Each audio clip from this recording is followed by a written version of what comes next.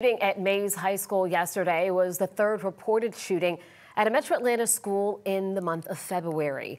Tonight, parents coming together to work on a new safety and security plan for their school after the shooting at McEachern High School in Cobb County at the start of the month. And so now they're demanding action and results. Here's 11 Alive's John Shirek. Not quite 100 people, a fraction of McEachern High School's students and parents, showed up to come up with a plan to stop school violence here. But these parents and students who did show up. More than anything else, we're married to this community, we're married to this school, and we want to keep it safe. They believe their voices will be heard by the Cobb County School Board and Superintendent.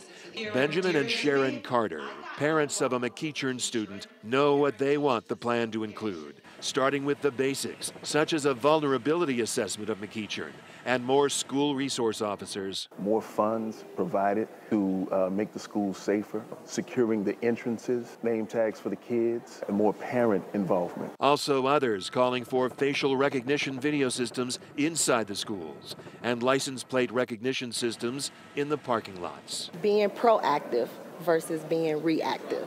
Cobb County School Board member Trey Hutchins, who organized this series of town hall meetings, is already talking with other schools across Metro Atlanta about collective action. I think this is going to allow us to have some action items that our school districts can use to ensure school safety across the board. Once and for all. Yes. Hutchins urging parents in this small but possibly mighty crowd and others to show up again at the next Cobb County School Board meeting in two weeks to begin to present their plan of action at McEachern High School in Powder Springs. John Shirek, 11 Alive News.